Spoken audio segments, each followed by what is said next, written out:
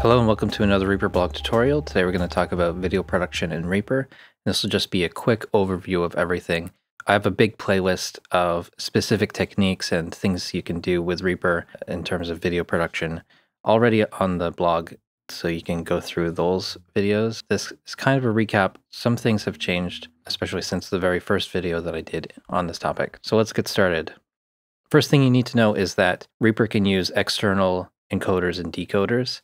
The main one that you'll be using is VLC, and you can get that here, videolan.org.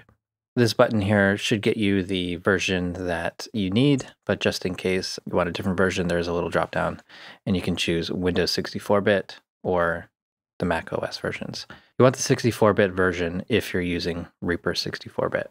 The other one is FFmpeg, and that is useful for exporting, especially on Windows, different formats. Reaper doesn't have H.264 encoding by default on Windows, so you will need this. And you want to make sure that you're using you know, the latest version of uh, version 4, the 64-bit version, and the shared. And you download that, you put the contents of that inside of Reaper's user plugins folder. Now, if we look up preferences and video, want to make sure that your video decoder priority is set. So I have VLC as the first priority. And if we're not sure what we have installed or what's available, we can click this show available decoder information.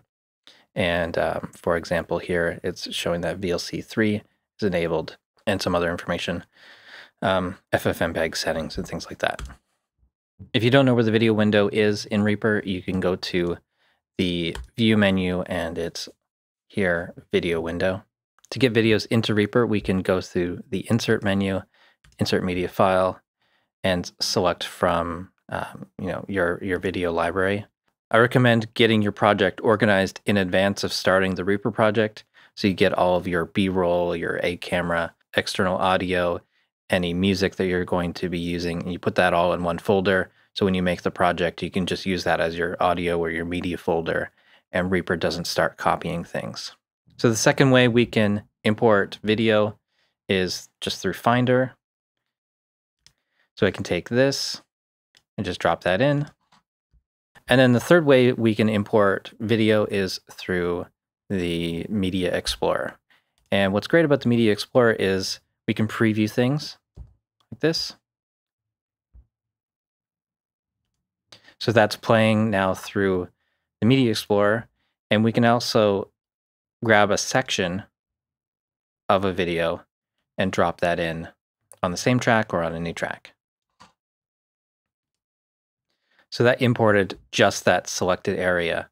Uh, and when we're done here with this, we can click stop and that will um, that will disable the preview inside of the Media Explorer.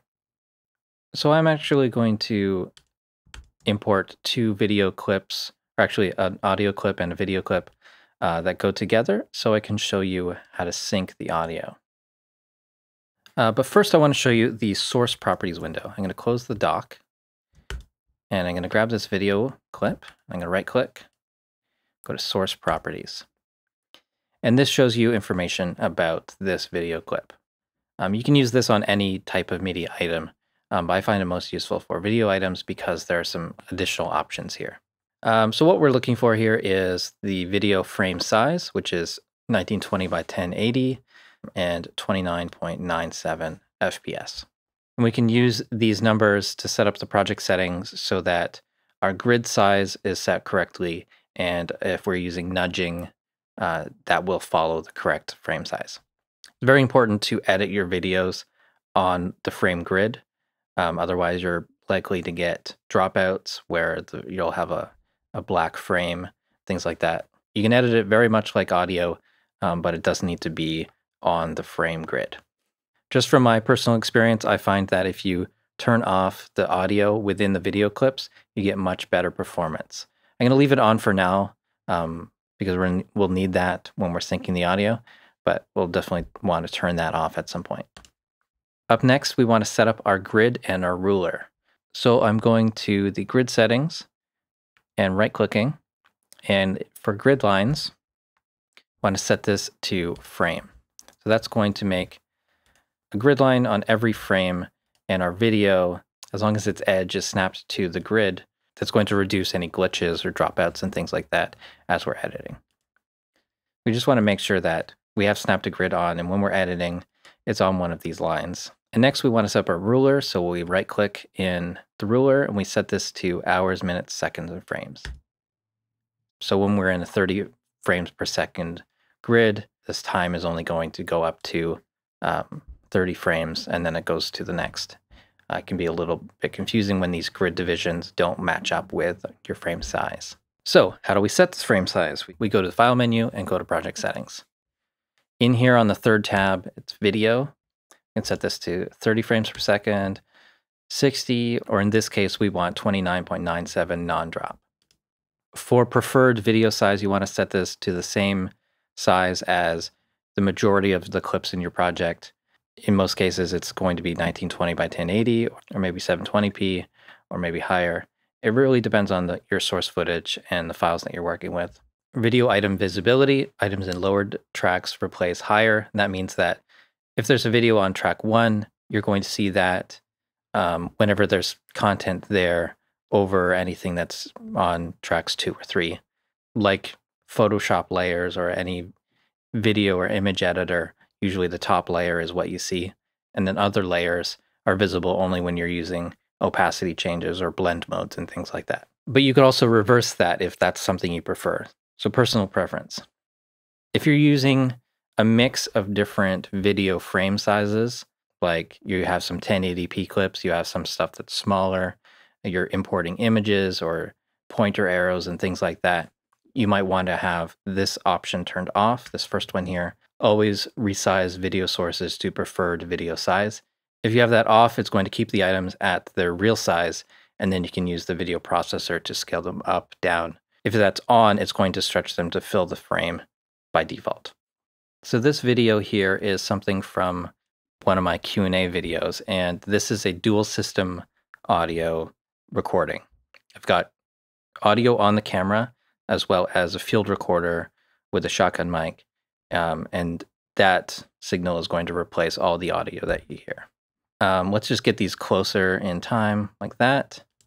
Now they're just kind of lined up by eye, but if we go right to this uh, peak in the video file, you can see that my hand clap has not, my hands have not met in that hand clap. And so if I put the audio there, it's going to be totally out of sync. Um, you might sound fine for the first 30 seconds, but 10 minutes later on in this clip is going to be drastically out of time. So we want to make sure that we advance frame by frame until we find where the hands meet, where the sound is produced from this hand clap. So right there is where I would do it. And I would want to get this hand clap from the shotgun mic uh, synced up to that point. So what we can do is just put in a marker in the the timeline to just mark that point, and we can drag this over like that. That would be fine. Um, and then at that point, we want to group these items. Um, but first, I'm going to go to Source Properties, ignore audio. Audio from this video file is not going to be read. Um, we get a little bit of a performance boost. We can select these two items, right click, group items. So now if I click anywhere in these items, both of these items are going to be selected. If I make splits in the item like this, um, it makes a new group. And so these two clips are together. This part I don't need. The actual intro to this video is probably right here. I can just remove that and snap this to the beginning of the video. Next, we're going to quickly look at the video processor plugin and the ways you can use it. Any video effect is going to be going through this video processor plugin. You can find that when you open up the effects browser. Uh, if you just click on all plugins, it should be right there at the top, video processor. And it comes up with this you know, kind of ugly looking code window. Start with going through the presets. These ones up here, the top of the list, are the ones that are included with Reaper. And you can do some basic things with it. For example, we can take the cheap brightness contrast one and we can just do some really basic uh, image adjustments to this. So I can make it a little bit brighter, add a little more contrast, and maybe reduce the saturation a little bit. And so something like that. Some of these presets get pretty weird. We can change the saturation to less than zero and it starts adding in strange colors. Another example of an effect you can put on the item is the invert color, or we can use the pixelate function. If the effect is on the item, it's only going to apply to that section of the video as it plays over it. So here I've got the, the pixelate function, and here on this item, uh, there's no effects chain there, and there's no pixelate function. You can also add effects to a track like this, video processor, and I'll just grab another effect like, I don't know, stage lighting. So this is processed in real time. So over time, it's going to do these different lighting effects. And anywhere in the track, even when there's no video, we're still seeing this lighting effect happen. Um, so when effects are on the track, it's going to affect everything. And you have to be careful that sometimes effects on different tracks, even though the effect is on track two and there's no video there, we're still seeing the effect on uh, track three where the actual video file is. So not all presets work like that. It's kind of up to the code whether it affects all sources below it or just the current source. If you want to add a text layer to your video, you'll probably want to do this in a different way. So rather than putting the effect right on the video item or onto the track, you're going to be doing this on its own item. And for that, I like to use an empty MIDI item. So, um, so let's just take a section like this, go to Insert, New MIDI Item. There's also a shortcut for that. And if you have no items selected, you can usually you can hold Control on the PC or Command on the Mac, and you can just drag and create a um, a MIDI item. I'm just going to color this track so we can see those. There we go. So this is what we'll use as a effects chain, um, or just really just a place where we can put in an effects chain um, for the video processor. So the video processor lives on this item here, and it is above our video track. And in here, we can use the preset title text overlay, and here you see this little gray box that says this is a title. And in here we can change this to anything. So we put in a new, a new text there and we hit Command S to save. And now we see that. Uh, we can change the height, we can change the position, we can change both the Y and the X position, we can add in a border, and we can also remove the background yeah, so it's a really basic title. If you want more advanced stuff, I have some presets that I've shared with my viewers.